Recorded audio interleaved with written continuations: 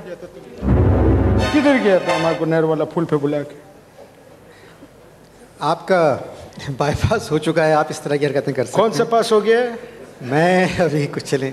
अच्छा खान साहब ये बताइए कि तुमने हमको बुलाया आप आप कैसे आना हुआ? आ गई बस तुमने बुलाया हम आ गई।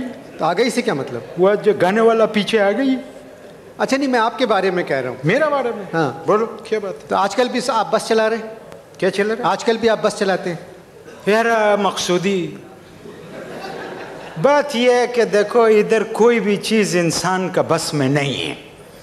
जब इंसान का बस में कोई चीज़ नहीं है तो मैंने बोला कि कोई ऐसा चीज़ होना चाहिए जो अपना बस में हो तो मैंने बस को बस में किया और मैं बस चलाने लग गया।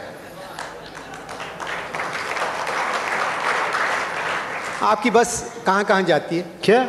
आपकी बस कहाँ कहाँ जाती है? मेरा बस जो है, वो मुख्तलिफ़ टाइम पे, मुख्तलिफ़ जगह पे जाता है। अभी थोड़ा दिन पहले मलिर का पुल तोड़ के नदी में गया।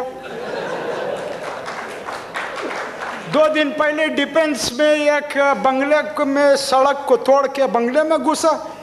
अभी चार दिन पहले बंदर रोड पे चार चौकरे लोग खड़ा था, डिजिंग किया ना जाके उन लोगों को। जख्मी किया। जख्मी किया तो किया। आपको तो जेल में जाना चाहिए। क्या? जेल में होना चाहिए। हुआ, हुआ, हुआ। जेल में कैसे जाएगा? बस का मालिक रिटायर्ड थानेदार है। तुमको मालूम है जेल में कौन गया? वो जिन चोकरा लोग को मैंने टक्कर मारा था उनका माँ बाप को जेल में डाला। वो क्यों? वो इसलिए पुलिस ने उनको बोला एक बात बताओ तुमने ऐसा औलाद क्यों पैदा किया जो बस में आवे?